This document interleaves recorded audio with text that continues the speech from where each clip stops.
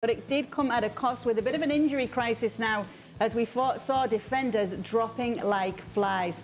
As we take a look at La Liga's table right now, Barcelona still in second spot, a game to play as well. Sevilla and Barcelona level on points, and it is the battle of the top four now with Real Madrid looking like they are running away with the league title as we now welcome Julien Laurens and Pablo Zabaleta. Pablo, what's your take on what you saw today from Barcelona?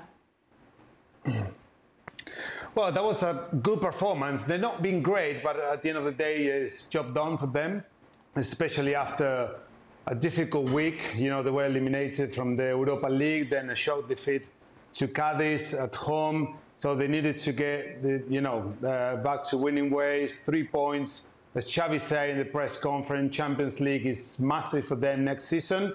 So, um, you know, they got it right. Good 20 minutes of the first half, give them a chance to take the lead, and then you know, a clean sheet was key for them to, to win the game.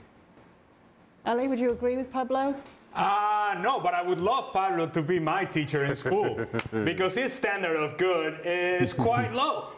I have to be honest with you. Barcelona were barely, and I mean barely, hanging on in the second half, and Ter Stegen's having to come up with a kick save with uh, Sorloth is missing chances left and right. Isak is missing chances as well. All the pressure was on Barcelona, and what was most surprising today from Barcelona is their inability to get a hold of the ball. Something that we think is second nature for this team. Well, not so much today. In the second half, Barcelona could not get a hold of the ball, could not complete three passes in a row, and it was all Real Sociedad all the time. So if you're Real Sociedad and you watch this game over, you're going to ask yourself a thousand questions as to how you lost this match. Barcelona, fortunate, and I mean fortunate to get three points. The only thing that I agree with and with Pablo is that it is an important three points for Barcelona given the trend that they had set over the last few games.